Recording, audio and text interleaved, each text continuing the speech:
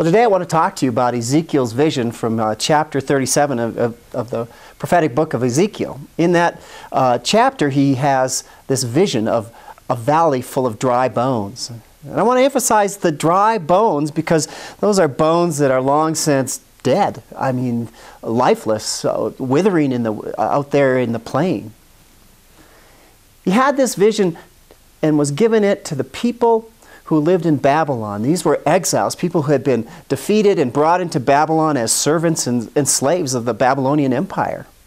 They'd been there decades by the time he had this vision, and I think the point was that their souls, their lives as a community, had become like these dry bones, long since dead, dead particularly of hope. Hope that God had a future, that they could maybe go home, that they could rebuild. But it was, Babylon was strong. They were weak. They were servants and slaves. The distance home was, was a great distance, and when they got there, they would find rubble. But in this vision, Ezekiel saw the breath of God come and commanded it to blow into these bones. And it blew into these bones, and the bones began come together and they became into people, living, breathing people. The point was that through God's Spirit, through the work of God in their lives, what seemed dead, what seemed impossibly uh, hopeful, actually could happen for them. Well, I think the same sort of dynamic is present for us who are Christians today.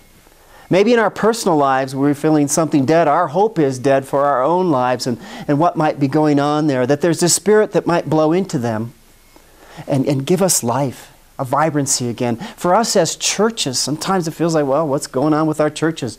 Where's that going? God's Spirit blowing in, giving life. For us as a country, you know, as I, I think about these words, I hear the theme of this, uh, this series as ashes to fire. Pretty parallel, pretty close to what it means to be dry bones, to having a vibrant life with a hopeful future. Ashes to fire, dry bones to a vibrant life in God. Indeed, this is our hope through our God and the Spirit of God working in us. Amen.